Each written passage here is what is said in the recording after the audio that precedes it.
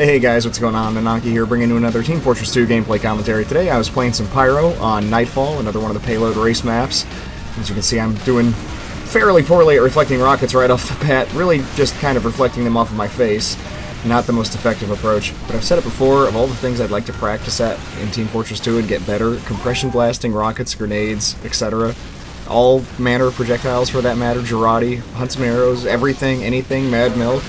If it's a projectile, it's not a bullet, it can be reflected. And that includes people, and breaking up Ubers and so forth is something that almost only Pyros can do reliably. Yeah, you can use explosives to try to juggle people, but more often than not, compression blasts are the most reliable way to break up an incoming Uber. So after we dealt with their initial Uber and then managed to come out successful in the ensuing back and forth, we're uh, pushing the cart rather unopposed, which is always nice, but it's also kind of worrisome because it means more likely than not the enemy team will be respawning all together. I just took the approach of WM1ing straight at the medic, Figure if nothing else, I'll give my team an open shot at the demo man while he hopefully defends his medic, but I managed to kill the medic without really being harassed very much in exchange.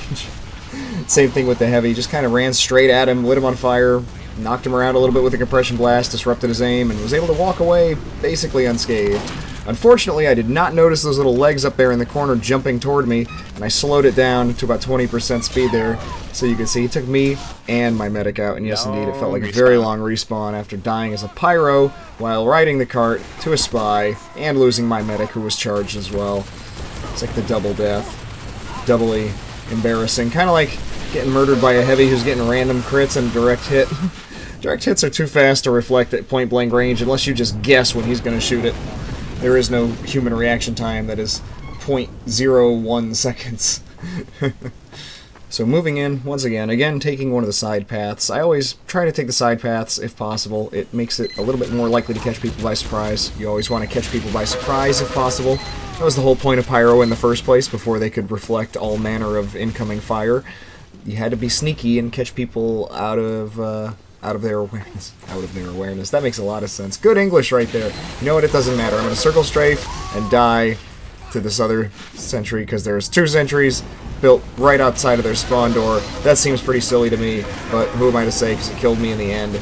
And as our cart gets closer and closer and closer, still their mad sentries managed to take us out. And I got kind of hung up on the corner of the cart there. I was holding left strafe like, please let me by. I don't want to stand here and be shot. But alas, that was not in the cards. So the pushback from sentries, especially level 2 or level 3, is really rather significant. You know, a lot of times reflection, I think, comes down to paying attention to how quickly your target reacts against other people, and then you can kind of use that to gauge your timing when the time when the uh, the time comes. And I knew there was a sentry gun over there to my right hand side, and I, I really expected it to kill me, but luckily there was just enough people that the sentry probably couldn't pick a target and the other people on my team took care of my problems for me. And that's always that's always nice when that happens. So another round, another day, another group of people to burn and or extinguish. It's the other thing you can't forget with Pyro is being able to put people out is invaluable. Like if that guy had seen me and ran toward me instead of away from me, I would have put him out. That would have been two people saved from burning. And uh, I think, you know, afterburn is 90, if I'm not mistaken, and 90 is a lot of health to lose that can be avoided from as simple as using up 20 ammo or 50 ammo from the Backburner, if I'm not mistaken. Again, if I'm not mistaken. I am actually pretty much certain about that. It's 20 for the regular compression blasts, 50 for the Backburner, and afterburn is 90 damage. And always watch your back. It's the other thing, of course. No, just assume that somebody's going to stay in a corner when you move in on them, especially if there's any any path they could conceivably take to get edge there. And I honestly thought I had a pretty good chance of being able to reflect those rockets back down into where the sentry placement was, but I thought, no, I'm not that lucky. They're just probably going to come up after me. So instead I just charged straight at them. Amazingly, they don't have anything built. More amazingly, somehow no one noticed me heading over here. The medic didn't deal with me. The engies didn't deal with me. The heavy apparently ran out of primary ammo. The soldier didn't know what was going on. I can't make any more excuses for people. The pyro uh, also probably didn't see me. At this point, I was like, you know what? I'm not going to push my luck by charging at the heavy medic pair by myself. Uh, but when I did see the respectless rubber glove, I immediately thought, Spy! Spy is me! Oh wait, he doesn't have the white face mask on. He's he's not me. He actually has the respectless rubber glove. Anytime I see a pyro with the rubber glove, I'm like, Spy! You think it's you. It wasn't. It wasn't at all. So my little rampage led to the end of that round. I was rather pleased about that. A couple rounds after that, ended up on the uh, same team there with Amish Babysitter playing medic for me. Before the round started, said it's time. It is time for the Uber engie round. And I was like, okay, I can, I can dig that. I can make this work. Maybe, maybe, possibly, depending, depending on how good my opposition is. you know, there's uh, obviously limits, but uh, I was pretty pretty upset I did not get anything but 18 on that medic there. That kind of begins my 18 damage crits from the shotgun. If one pellet from the shotgun hits your, your target there, you get 18 for a crit. I think I probably get like 5 or 6 18 damage crits in this round, which is both a testament to my, my bad aim and uh, the, the level to which the Frontier Justice can be rendered useless by bad aim. There's another 18 damage. Little boop. Like, don't even don't even make the crit noise for that. Come on, you're just you're, you're not even giving me any respect. No respect at all. Somehow that soldier did not see me. And there's the Uber. I knew I was going to be due at some point. Good thing I didn't have any more, uh, didn't need any more rounds in the, the shotgun, because three is all I've got. But simultaneous pistoling and mini-sentrying certainly does add up rather quickly. Finally I do manage to get more than 18 damage on somebody, the Pyro, dropping the mini-sentry, hoping he would go after it instead of me, but he was making a V-line for me, luckily. I had a medic on me. If I didn't, there was no way I would have survived that long. So having cleared out the majority of the resistance there, we are finally able to push the cart in. I say finally like it was a really long round. That was like about a two minute long round. uh, but we had been playing on that map for, for many, many hours. In fact, in a, an earlier round, this was kind of random. In fact, the rest of this is basically random clips leading up to the highlights from the live streams, the last two that I did, which were actually like two weeks ago.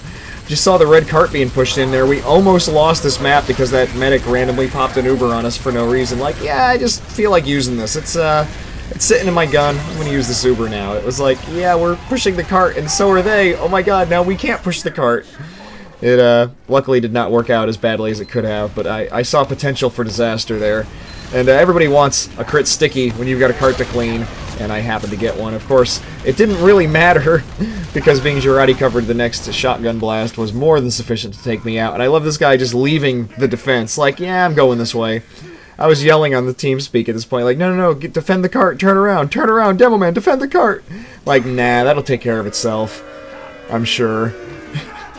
and another random highlight starting off. Of course, the best way to start around is to launch at the enemy. And if you didn't see there, I did actually manage to get the heavy to crater. My good friend Metamorphosis there. And, uh, yeah. Just, just for the sake of it, there it is again in the instant replay. I just thought that was, when it happened, maybe the funniest thing I'd seen in a while in TF2. And I was like, man, it's a good thing I happen to be recording this round. And that's what kind of motivated me to, to sit down and spend a few hours editing all these together. Like this clip here of this pyro just burning the cart. Like, as if you could just light the card on fire and it'll take care of your enemies for you.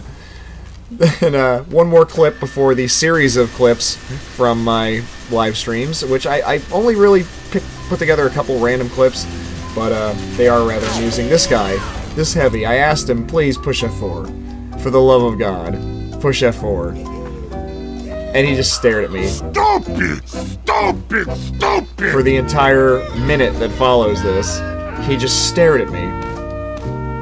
What coward is still not ready to fight? I mean, voice chat, regular chat. I should have done this long ago! I, I don't know. I'm out of ideas when people are just that obstinate. So, a minute later, I had my opportunity for revenge, and I took it. Ah, you're dumb as a box of rocks. That makes me laugh every time. No, that's a shame too. Thank you, so.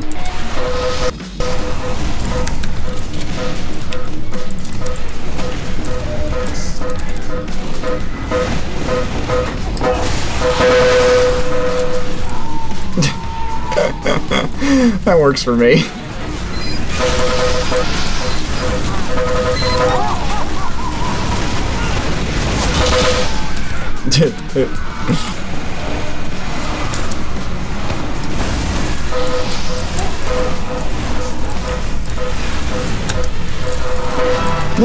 that was so close. So close.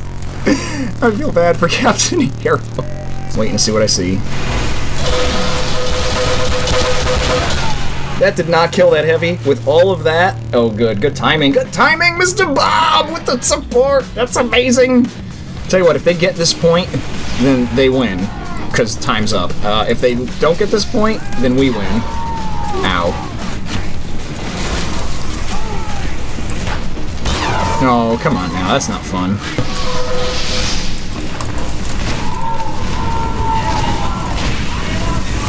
Oh, the timing. The timing is painful.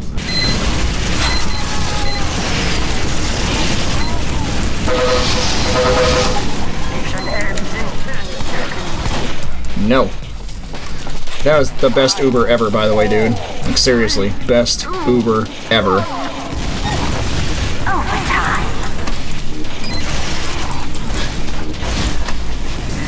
Woohoo! Amazing Uber at the end. Thank you, sir. Oh well. Onward. Alright, gotta get, gotta get, gotta get, gotta get to that last point as fast as humanly possible.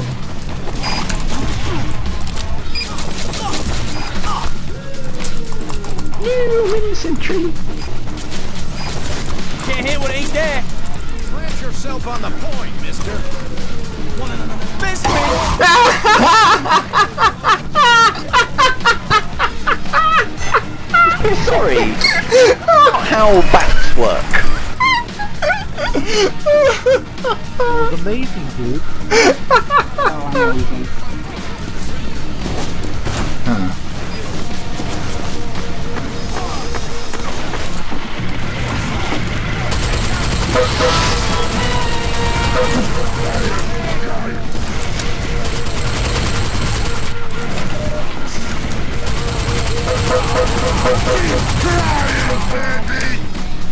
Running time. Whee!